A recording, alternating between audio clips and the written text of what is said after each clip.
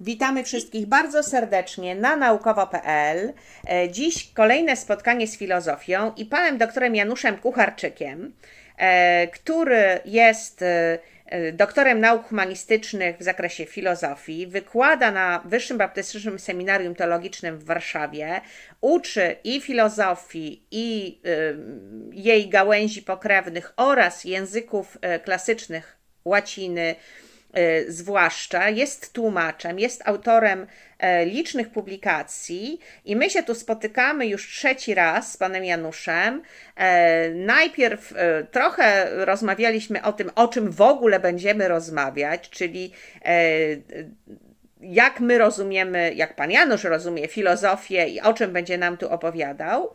A teraz y, w pierwszym takim spotkaniu, już bardzo konkretnym, było o Pitagorasie i Pitagorejczykach, zwłaszcza przez chwilę o Teano, takiej mało znanej filozofce, a szkoda. Y, Kto zaciekawiony, ten niech posłucha. Dzisiaj witam bardzo serdecznie panu Jan, pana Janusza i wszystkich, którzy nas słuchają. Tak, ja też witam. Y- Miło mi. E, Zapraszam do wysłuchania tego, co mam dzisiaj do powiedzenia. A dzisiaj będzie o Empedoklesie oraz o, o, o wszystkim, co trzeba nieco poznać, aby do tego Empedoklesa. E, jak tu ładnie pan e, Janusz powiedział e, mi, e, umawiając się ze mną na spotkanie, będziemy rozmawiać o proroku redukcjonizmu, ale żeby zacząć o proroku, to trzeba o prorokach, którzy byli przed tym prorokiem. Trochę jesteśmy w sytuacji Jana Chrzciciela i wszystkich proroków sta- starotestamentowych przed nim. Więc Tak, e, tak. zapraszam serdecznie do tego spotkania. E, tak. E, e, dzień dobry Państwu jeszcze raz i trochę się cofniemy na początek. Musimy wrócić do początku filozofii greckiej, na chwilę tylko, ale dla jasności obrazu. Zaczęła od Pitagorejczyków, którzy są we Włoszech. Do tych Włoszech znów, do tych Włoch znów wrócę, czy do tej Italii. Oczywiście dzisiejsze Włochy, tu mówimy raczej o Italii, wrócimy. Empedokles też działa w tych stronach raczej ale trzeba najpierw się zastanowić nad tym, co było wcześniej w Grecji, a to po drugiej stronie Ionia, czyli dzisiejsza zachodnia Turcja. E, Te, te tereny były bardzo długo greckie, właściwie do pierwszej wojny światowej, wtedy po, po niej dopiero przesiedlono stamtąd Greków i tam się filozofia zaczęła. I w historii filozofii w wykładach rzeczywiście zaczyna się od Thalesa, Anaksymanesa, Anaksymandra. To są pierwsi filozofowie, którzy zadali sobie pytanie, co było na początku. Thales mówi o wodzie, Anaksymenes mówi o, Anaksymander mówi o, potem się pojawia bezkres, wreszcie powietrze i e, jest to, e, no to są pewne koncepcje arche, początku, czyli Thales, Anaksymander, Anaksymenes i wreszcie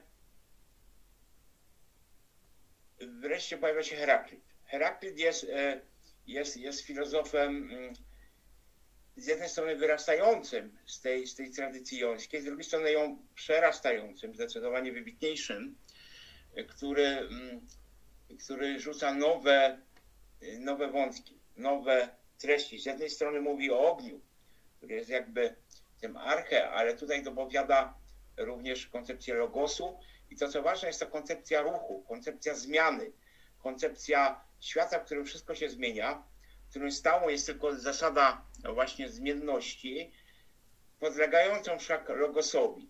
Logosowi, czyli pewnym zasadom, poniekąd ubostwiony, ubostwionym. To właściwie ten logos można tłumaczyć jako prawa przyrody, jako Boga. Zależy jak, jak na to popatrzymy. Potem ta koncepcja logosu pojawi się i e, oczywiście przez zapośredniczenia i w, i w Nowym Testamencie, i w teologii chrześcijańskiej.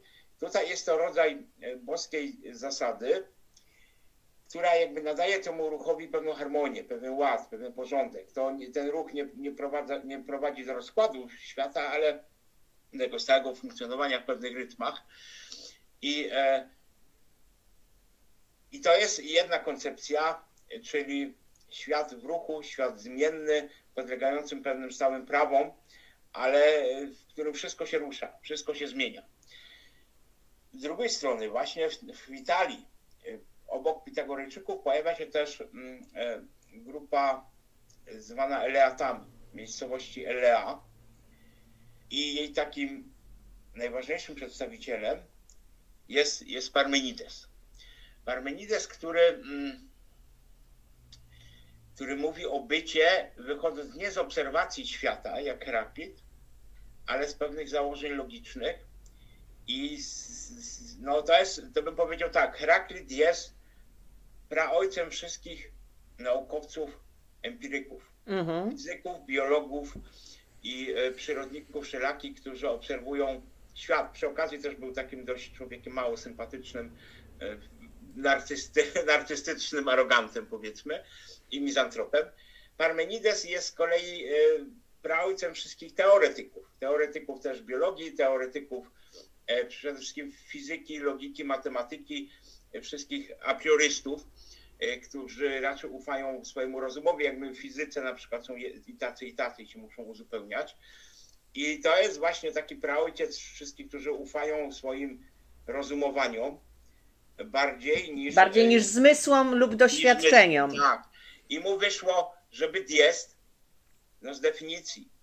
Byt jest tym, co jest, czyli jest. Nie byt jest tym, czego nie ma, czyli go nie ma.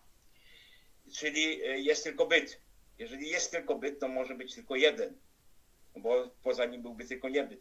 I, i e, jest, jest jeden i jest niezmienny, bo co miałby się zmienić? E, znaczy, on oczywiście nie negował realności zmian w sensie empirycznym, ale te wszystkie zmiany są w ramach jednego bytu. Nie powstaje jakby nowa, nowa rzeczywistość. Nic nie przestaje istnieć, nic nowego nie powstaje. I to z jednej strony e, może się wydawać, najpierw on był tak odbierany, jako takie właśnie niedorzeczne gadanie wbrew zmysłom, no ale przecież wiemy z fizyki, jest, jest zasada zachowania energii, materii, całe liczne inne zasady zachowań i Parmenides myślę, gdyby się o nich dowiedział, powiedział, haha, nie mówiłem i y, tak samo przecież wiemy w biologii, no są zmienne fenotypy, zmienne, ale geny mogą się utrzymywać przecież przez, przez miliony lat. Ale właśnie, to jest, to, to oczywiście były pewne skrajne stanowiska, i już, na, już od razu było widać, że, yy, no, że w obu jest coś cennego, ale żaden z tych poglądów nie może być prawdziwy jakby w pełni. No, znaczy jeszcze, jeszcze chyba nikt nie wpadł na to, że bywają tezy, antytezy i syntezy. Tak, ona się właśnie wtedy powstaje, myślę. To jest właśnie pierwszy przykład, że ta synteza zaczyna się rodzić i właśnie Empedokles jest jej przykładem. Byli w międzyczasie byli tacy, którzy poprawiali czy bronili tych poglądów. No Parmenidesa słynnym obrońcą był Zenon z Elei, ważny dla fizyki, bo on rzucił pewne przykłady, y, dowody na nieistnienie ruchu. Z tego potem powstały paradoksy. No, nie przekonał nikogo, że ruchu nie ma, ale te paradoksy na tyle były trafne, że zmusiły do odpowiedzi na nie w efekcie tych poszukiwań Ostatecznie, y, po, oczywiście po tysiącleciach, w XVII-XVIII wieku powstał rachunek różniczkowy. Dobrze pisze o tym y, ksiądz, y, ksiądz Heller. Nie tylko, bo to jest sprawa rzeczywiście ciekawa. Zenon przez swoją prowokację zmusił matematyków do podania takiej, takiej, takiego sposobu rachunku, który ruch opisze, bo taka zwykła arytmetyka nie jest stanie i to Zenon pokazał. Również jakby E, tutaj Heraklit też ma swoich obrońców, Parmenides też ma jeszcze poprawiaczy, którzy jego poglądy bardziej temu spójnili. W każdym razie pozostają te, e, te skrajne poglądy i potrzeba ich pogodzenia. I e, no, są też, pojawiają się też tacy, którzy uciekają od problemów właśnie fizycznych, doprowadzają do skrajności i skupiają się na kwestiach językowych, humanistycznych. To, to zrobili sofiści, o których myślę powiem trochę na następnym spotkaniu. E, zacznę od nich. I, e, i wreszcie pojawia, pojawia się trzech myślicieli, e, którzy na swój sposób dokonali syntezy wątku Parmenidesa i, i właśnie Heraklita. O Leuciposie, twórcy atomizmu, wspomnę, kiedy będę mówić o Epikurze. Tutaj najbardziej znanym, czy Epikurejczykach, których atomizm przesłał jakby historycznie do naszych czasów, zachowały się pisma Epikurejczyków. E, I, I to o tym powiemy. Pozostają dwa. Anaxagoras, o którym trzeba teraz krótko wspomnieć. On stworzył taką koncepcję homojo, homojomerii, czyli jakby takich jednolitych cząstek, trochę przypominające nasze współczesne geny, trochę pierwiastki, tylko że tam wszystko jakby miało swoją taką moją merię, czy jak mówię, pierwiastek i pies, i kamień, i sosna, i człowiek, i wszystko było mieszanką wszystkiego i w człowieku jakby dominują te homojomerie człowieka, dlatego z człowiekiem. I to jest może dość skrajna koncepcja, ale rzeczywiście tu są ciekawe, ciekawe wątki. Ale y, y, skupimy się na, na Empedoklesie, bo myślę, że on tutaj historycznie jest istotniejszy. Jego koncepcja została przyjęta i, y, i, i się rozwijała, i jakby nasze współczesne wyobrażenia tutaj z niej się biorą, co łączy, co łączy tych, tych wszystkich trzech myślicieli. Mianowicie wszyscy przyjmują, że istnieją elementy, które mają cechy bytu Parmenidesa, które są w sobie niezmienne. Niezmienne i istnieją, bo to bo, bo tak, rozumiem. Tak, istnieją i są niezmienne. I są niezmienne. Mhm. I to jest u wszystkich, ale tu od Parmenidesa odchodzą. Nigdzie to nie jest jeden taki element, czy też y, nie jest, nie jest, nie jest wieczny ten jeden. Y, jest wielość i ruch polega na tym, na, nie, nie rusza się to, co jest z nich, ale jakby one się ruszają i relacje między nimi się zmieniają. I to jest ten element heraklitejski. Różnie definiują ten, ten element niezmienny. I to, to właśnie o Anaxagoresa już powiedziałem, o atomach jeszcze dokładnie będę mówić. Jak to robi Empedokles. I, i, I to jest właśnie jego, jego tutaj znaczenie, że on podaje pewien taki tu przykład, który, no atomy też oczywiście do nauki e, też wejdą, ale dużo później. E, to będzie koncepcja filozoficzna przez, przez tysiąclecia. Naukowa stanie się w XIX wieku. E, Empedokles jakby wchodzi do tej nauki, ta koncepcja oczywiście się zmieniła. I jakby bezpośrednio nic nie zostało, ale podstawowe założenia tak. I to, to warto docenić. I no, to, to jest, to on żyje gdzieś w czasach V-IV wiek to jest już, no, czy, no tak, piąty wiek, piąty wiek, przepraszam, to jest pierwsza połowa piątego wieku naszej, przed naszą erą. Czyli to są czasy y, już rozkwitu Aten, ale Empedokles właśnie gdzieś tam wpływa na to, ale on no, raczej działa y, na, na zachodzie, w Italii. I, no, I rzeczywiście jest, dlaczego go nazwałem prorokiem? No, on rzeczywiście nie zachowywał się jak zwykły uczony, badacz, on się pozował, o czym może ktoś powie, był, e, pozował na proroka. Oczywiście y, uzdrawiał, głosił kazania umoralniające i przy, przy okazji głosił taką naukę. Ten element religijny, e, bardzo obecny e, w jego, w jego koncepcji, jest dość podobny do tego pitagoryjskiego. To jest też pewne wspólne źródła orfickie.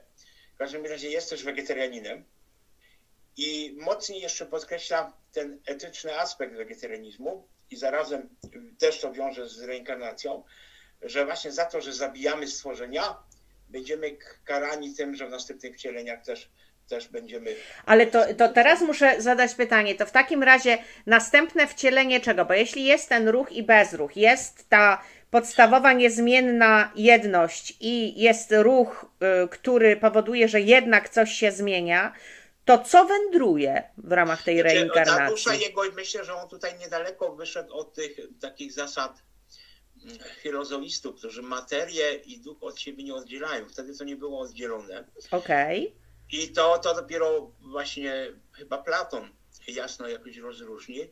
No, Giovanni Reale, historyk filozofii, mówi, że te koncepcje w ogóle wszystkie przez Platone są niespójne, ale też nie ma sprecyzowanych pojęć i też nie bardzo da się tutaj... Aha, czyli nie bardzo da się tak wprost powiedzieć, co w ramach tej reinkarnacji miało wędrować, być karane tak, lub to, nagradzane. Tak, nie do końca, tak, to się nam wydaje niespójne, dlatego że my już żyjemy w epoce, gdzie są sprecyzowane pojęcia i my ducha przeciwstawiamy jakby materii w sposób no, odruchowy. Tak, ale odruchowy i zdecydowany. Odruchowy tak, i zdecydowany. Czyli to też nie jest tak, że y, oni oddzielali ducha od materii i że ten byt, który jest niezmienny i który jest, od tego ruchu, który niejako towarzyszy i też jest, i to on jest warunkiem tej zmiany, oni tego nie oddzielali, jak my oddzielamy duszę od ciała. Tak, nie, nie, nie, tak, to, to tamte kwestie duchowe i materialne. Zresztą to jest mentalność też jeszcze bliska takiej animistycznej. Okej. Okay. Pierwszych filozofów greckich I to jest tak zwany filozoizm. To się przedstawia właśnie tutaj u, u, tych pierwszych właśnie filozofów typu Thales, to jest bardzo jasne, ale później to też jeszcze funkcjonuje.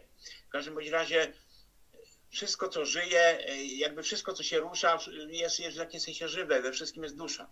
Dusza jest zasadą ruchu bardziej niż, niż umysłu. Niż umysłu, okej, okay, okej, okay. czyli, to... czyli to byłby ewentualnie zaczątek odróżniania duszy, no bo ona by była czymś w rodzaju tego elementu ruchomego, ale nie możemy jej całkiem oddzielić. Nie, nie, on tutaj nie sprecyzował tych Dokładnie, czyli, czyli to, jeśli to jest takie, powiedzmy, w ogólnym zarysie, bo nie chcę użyć pro, po, pojęcia rozmyte, bo filozof jest tak, dużej tak, klasy. Tak, to, koncept tego aspektu nie sprecyzował bardzo wyraźnie. Albo dobrze. Nie, nie było tu problemu. Dusza po prostu jest częścią świata fizycznego i nie odróżnia świata fizycznego od, od duchowego. No dobrze, to w takim razie jeszcze raz, czy mógłby Pan jednym zdaniem lub dwoma zamknąć, jakie jest dzisiaj, zanim pójdziemy w te szczegóły, co on nam zostawił takiego szczegółowego, to jakie jest znaczenie Empedoklesa tak ogólnie, że dziś, dobrze, że na przykład ktoś dzisiaj ma po co wrócić do tej filozofii nie tylko w aspekcie poznawczym, o tak myślał Empedokles, tak, ale w zakresie to się przydaje albo nadal z tego korzystamy. Tak, on nam uświadomił pewne rzeczy, które, które mm, oczywiście się zmieniły, ale oczywiście to w jakimś stopniu to jest zasługa tej pozostałej z tej trójki, ale myślę, że u Empedoklesa to najlepiej widać, e, że można w całej zmienności świata znaleźć pewne stałe elementy, które, które, które leżą u jego podstaw. Szukanie pewnej prostoty, pewnych stałych elementów, które pozostały niezmienne przy całej jego zmienności, które tłumaczą też tą zmienność. I zauważmy, dzisiaj cała nauka też, też na tym polega.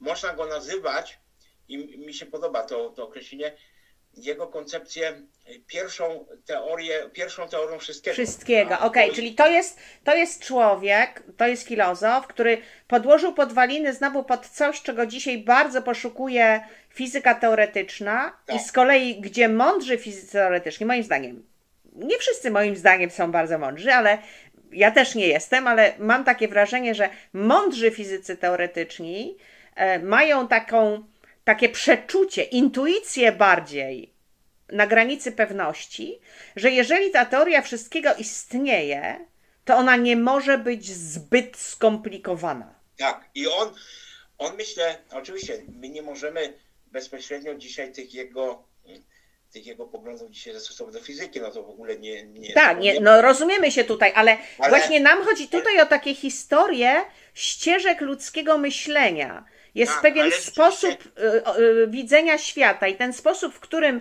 podstawa musi być nieskomplikowana. Wychodzimy tak, od tak. nieskomplikowanego i dochodzimy do komplikacji, a nie odwrotnie. Tak, tak, i to mu się udało. I to przecież wcale nie jest oczywiste, żeby coś takiego zrobić. Wcale to nie jest oczywiste, żeby to, to pomyśleć. Też jest, myślę, coś, co. Mm, oczywiście y, takie pomysły były też. Też e, u innych, oczywiście jak, u innych, w innych tradycjach niż nasza europejska.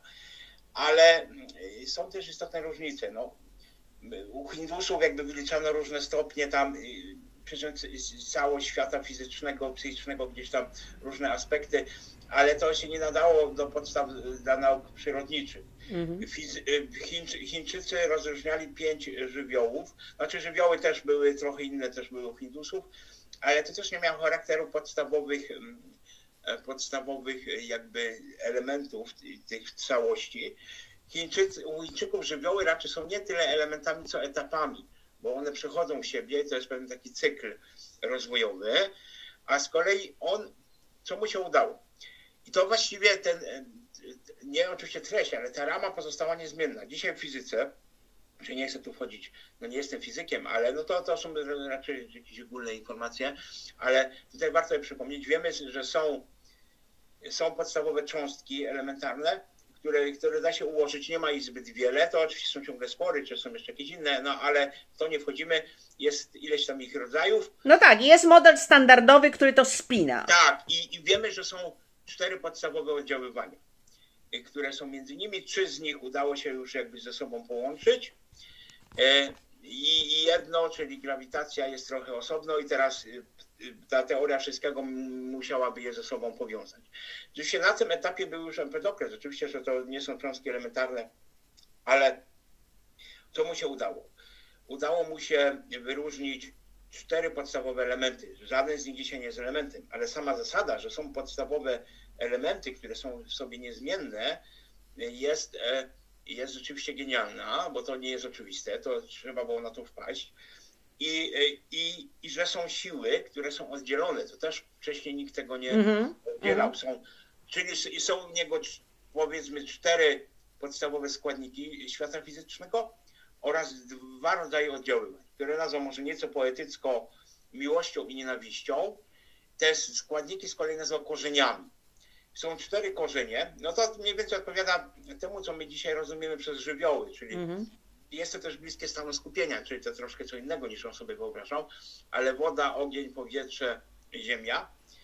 I e, no, ogień nie ma stanu skupienia, no ale no, jest plazma, która jest trochę, no nie jest tym samym co ogniem, ale jest tu przynajmniej jakaś, jakaś analogia. I, e, i e, i to są, te, to są dla niego te korzenie. I miłość i nienawiść, czyli właściwie przyciąganie i odpychanie. I odpychanie. Zauważ, że mhm. pewne rzeczy się przyciągają, pewne odpychają. I ta teoria wszystkiego, czy taki jakby mm, jego odpowiednik tej, tego, no właśnie, teoria wszystkiego mnie jest potrzebna do tego, żeby opisać to, co było na początku, na początku. tak? kiedy grawitacja e, nie mogła się jeszcze specjalnie różnić od od tych pozostałych, bo świat był i mały, i, i był to cały kosmos, czyli była tam grawitacja, a jednocześnie musiała działać w tych rejonach subatomowych. I to, i to tutaj mam, tu dochodzimy do sprzeczności ciągle tego nie wiemy. On właśnie jakby swojej wyobraźni do tego doszedł i mówi o rzeczywistości, którą nazwał Sphairos, czyli jakby sfera, kula, której ta zasada miłości łączyła wszystko. Ta zasada nienawiści była jakby podporządkowane tej zasadzie miłości i te wszystkie korzenie e, ze sobą e, tworzyły jedność. Potem ta zasada nienawiści się jakby rozrosła i doprowadziła do chaosu. Oddzieliły się od siebie te, te korzenie. Czyli na początku świat wyglądał jak ten byt Parmenidesa, o tyle, że przeciwieństwo od niego to nie było stałe. Do, doszło do jego rozpadu, on jakby pęknął. Pojawiły się te, te cztery elementy i dalej one zaczęły się dzielić. I, i jakby tutaj się pojawia cały szereg różnych cząstek, fragmentów i chaos. W pewnym momencie powstał świat, świat bardzo nieprzewidywalny, w którym latały różne kawałki się znowu się zdarzały, ale zobaczmy od początku, i tu jest na przykład też jego wyższość nad Arystotelesem, nie ma tu żadnej celowości. Mhm. Tym, tym nie kieruje żadna zasada celowości. Jest Tylko prostu... są te siły i one po prostu działają same przez się tak, i nie prowadzą do żadnego celu. I jest też w pewnym, w pewnym sensie Empedokles, no trzeba powiedzieć, dość genialnym, aczkolwiek w takim, w takiej wersji, która dla nas brzmi dość komicznie, to też trzeba przyznać. Ale sama zasada y, u niego jest, on właściwie jest pierwszym, który rzucił hasło doboru naturalnego, tylko bardzo kosmicznym, tak byśmy to powiedzieli, i nieco komicznym y, dla nas wydaniu. Mianowicie wyobrażam sobie, że jak się te, te cząstki ze sobą zderzały, mieszały, rozdzielały, no to pojawiały się też już pierwsze jakieś byty organiczne, zwierzęta, rośliny i one, one się też formowały bez celowości, ale właśnie gdzieś latały w tym kosmosie, czyli no to taka dosyć wizja dla nas fantastyczna. Ale, czyli tak, na przykład pojawiło się, nie wiem, noga nietoperza, czy skrzydło nietoperza, noga kangura, noga krowy, Y, tam pięć dębu i te rzeczy się zdarzały. No jak się noga krokodyla powiązała, nie wiem, z korpusem lwa, no to to niekoniecznie było spójne. Głowa konia, jak się połączyła z korpusem mrówki, no oczywiście sobie można żartować, też nie było spójne, ale w pewnym momencie te cząstki zaczęły się łączyć w sposób e, przypadkowy, ale pojawiły się takie połączenia, które do siebie pasowały. I, i no to jest bardzo genialne przeczucie tego, jak działa jak, działa, jak działają mutacje i jak działają, mm, jak działa dobór naturalny. Tylko, że u niego to oczywiście było gdzieś jakiś kosmiczny anturażu, że to gdzieś tam lata i się zderza. To oczywiście dzisiaj tak nie sądzi, ale, ale właśnie tu jest, tu jest bardzo dobrze odkryty, został odkryty właśnie mechanizm doboru naturalnego, czyli nie ma celowości, tylko pewne te rzeczy, które do siebie nie pasują, po prostu przestaną istnieć, bo mhm. są niespójne, bo nie tworzą całości. Te, które harmonijnie zdają się ze sobą łączyć, te przetrwają. I w ten sposób powstaje, powstaje powoli świat. I, i, i ta miłość. Czyli świat z chaosu, tego powstałego w wyniku tych, tej pierwszej nierównowagi sił, świat z chaosu wyłania się powoli.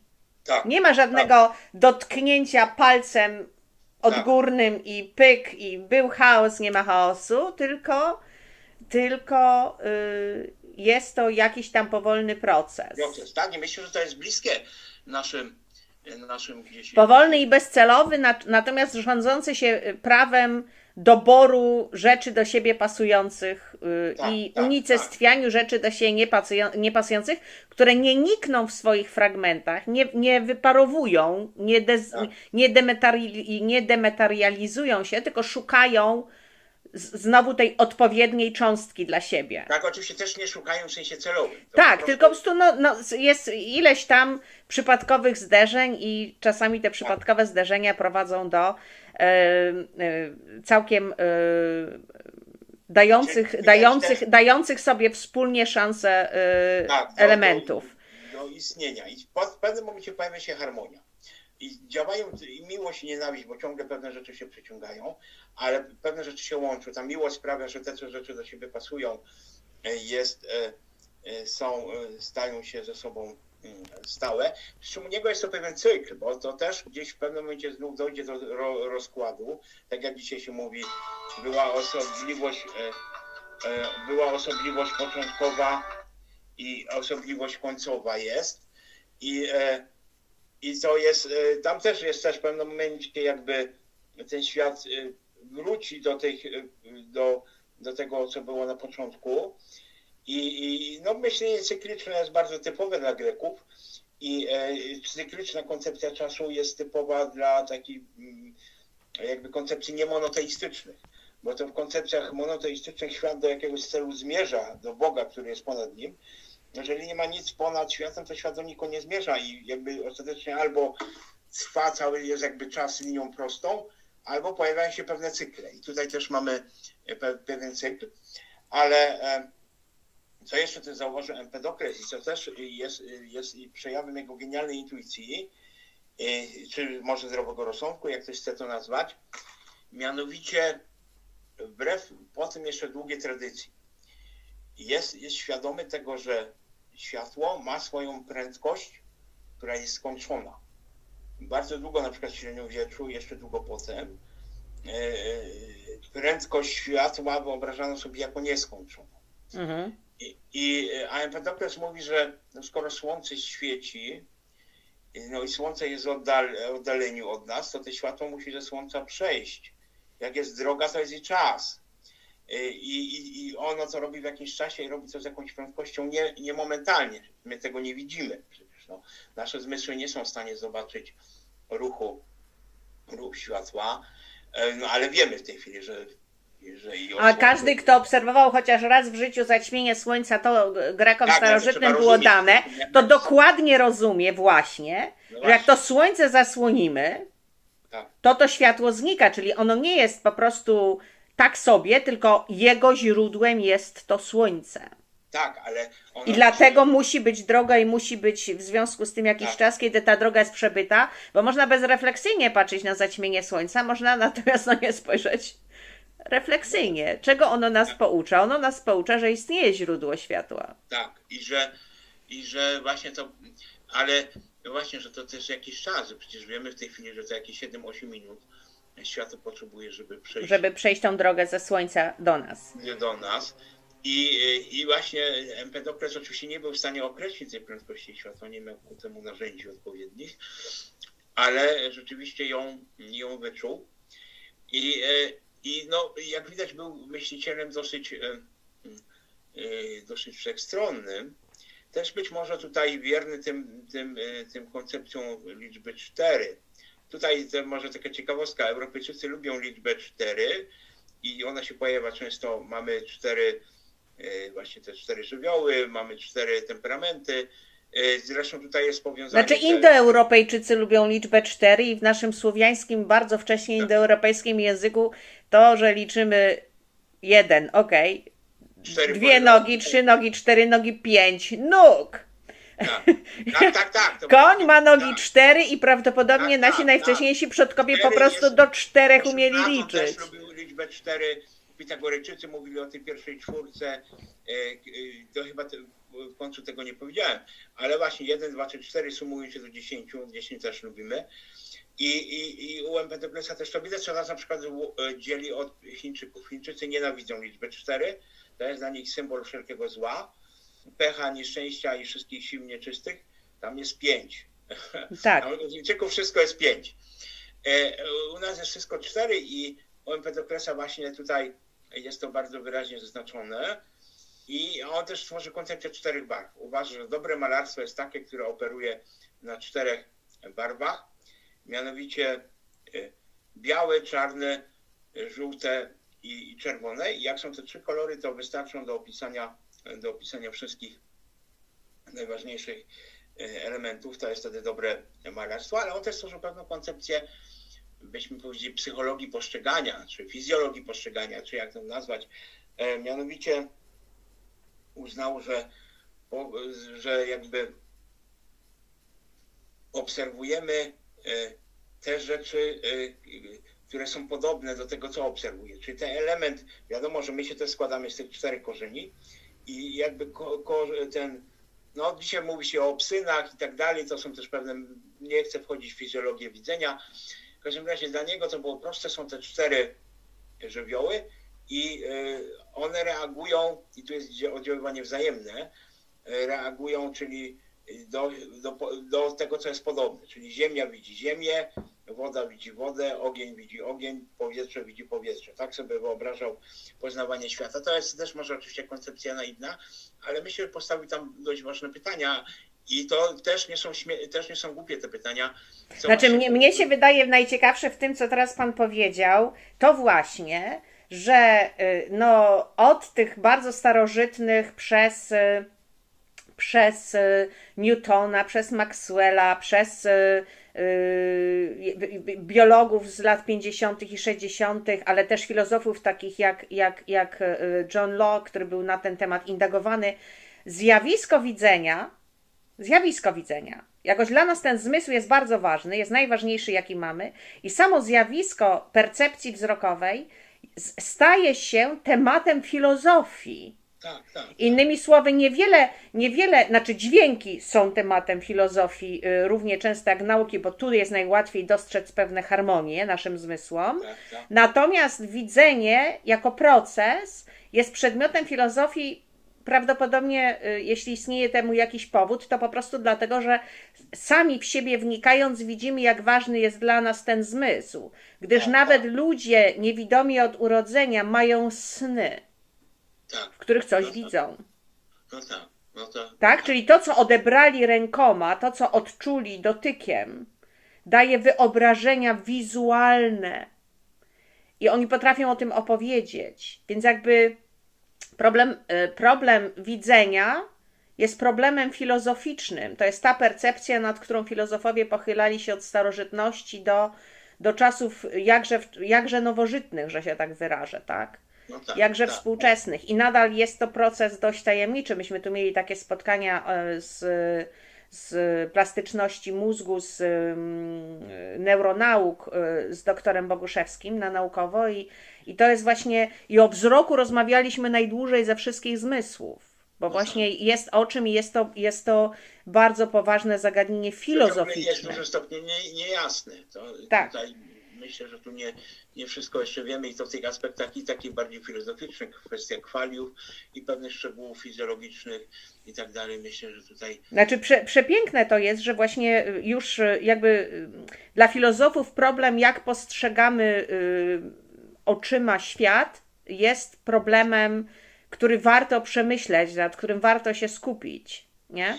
I, e, I myślę, że tak, warto, tak, myślę, że Empedoklesa warto doceniać, bo on rzeczywiście e, zauważył pewne rzeczy, które pozostają stałe i zauważył pewien łatwiej, pewną prostotę w całym jego skomplikowaniu, dając to na wskazówkę, jak, jak, jak spostrzegać. Oczywiście z pewnej perspektywy może być to błąd. Właśnie go nazwałem prorokiem redukcjonizmu, zwolennicy holizmu, że mówił, że trzeba jednak świat spostrzegać jako całość, nie redukować go do pewnych najprostszych elementów, mogą w Empedoklesie widzieć e, kogoś, kto zwiódł myśl europejską.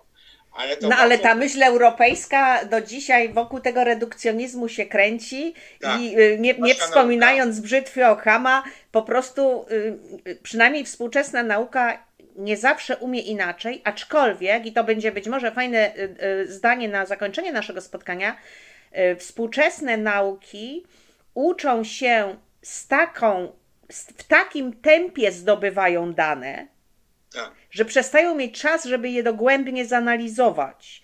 Więc no tak. przeskoczyliśmy tą filozofię, y, filozofię redukcjonizmu, y, bo przeskoczyliśmy ograniczenie możliwości zdobycia gigantycznej liczby danych. Tak? tak bo przeskoczyliśmy nasze własne percepcje y, i, i, i stworzyliśmy pewne maszyny, które są w stanie w sposób automatyczny wykonywać miliony doświadczeń naraz no tak. i zbierać dane. Tego ani organizm ludzki, ani umysł ludzki nie był w stanie robić, więc częściowo ten redukcjonizm wynikał z tego, że łatwiej nam jest rozłożyć problem na składowe i każdą z nich zająć się z osobna. No. Bo mózg ludzki nie ma takiej zdolności do analizy procesów. Wiele rzeczy to udaje się tak wyjaśnić, aczkolwiek wcale nie jest powiedziane, że wszystko da się tak wyjaśnić. Tak, i w dodatku dlatego właśnie holiści dzisiaj podnoszą głowy, tak? tak. E, y, właśnie dlatego, że jeśli będziemy mieli czas, na to, by nad tą gigantyczną górą danych, która już jest nazbierana, przy użyciu e, tych maszyn myślących, które już są, będziemy mieli czas e, i możliwość się pochylić, to może się okazać, że da się zanalizować wszystko razem. Tak. Tak? tak. I że jest, tworzą się tam pewne zjawiska czy prawidłowości, które nie dałoby się wykryć rozkładając rzecz na części, ale ten redukcjonizm miał swoje miejsce i czas i był niezbędny, bo te tak. sztuczne inteligencje, które my dziś trenujemy, tak. piszemy, one składają się właśnie z takich tysięcy algorytmów, tych jednostek, tych tak. zredukowanych części. My tak, tylko po tak. prostu sami własnym umysłem nie umiemy tego do kupy zebrać, a te maszyny e- ewentualnie potrafią. Dobrze, wspaniale, czyli y, doszliśmy od Empedoklesa do sztucznej inteligencji. Bardzo mi się podoba to spotkanie. Panie Januszu, a y, o kim następnym razem? Właśnie, ja wspomniałem o sofistach, e, którzy jakby doprowadzili tezy Heraklita i Parmenidesa do, do wniosków relatywistycznych. E, na swój sposób każdy tam Gorgiasz i Protagoras. I później przeciwstawia się im Sokrates, którego uczniem będzie Platon. I właśnie jak od, od tych kwestii humanistycznych, językowych, etycznych, politycznych, którymi zajmują się sofiści i Sokrates w swoich dyskusjach, e, jak z tych, z tych kwestii wyrasta późniejszy platonizm. Będzie, będzie tematem następnego, następnego spotkania. Być może rozpadnie się na dwie części, bardziej są z Sokratesem związaną bardziej z Platonem. Zobaczymy, jak to się nam uda. Zrobić. Y, punktem wyjścia będzie Sokrates, punktem dojścia będzie późny Platon, który właściwie jest już bardziej pitagorejczykiem niż sokratykiem. No właśnie, to wszystkiego dzisiaj nie zdradzimy, panie Januszu. Wyjdzie, bo żywioły platońskie też, też są te... Ale panie Januszu, dzisiaj nie możemy aż tak spoilerować. Nie, to, to będzie Zapraszamy za, wszystkich za na następne spotkanie. Zapraszamy. Też jeszcze nie wiemy. Tu, tu, tu może, czy to nam będzie z tego jedno spotkanie, czy dwa. To, to Zobaczymy. Dziękujemy. To, e, no zapraszam. Mam nadzieję, że, e, że tutaj Państwo są zadowoleni z tych wykładów i czegoś się dowiadują. I jest to inspiracja dla Państwa, czego, czego życzę i do zobaczenia. Do usłyszenia następnym razem.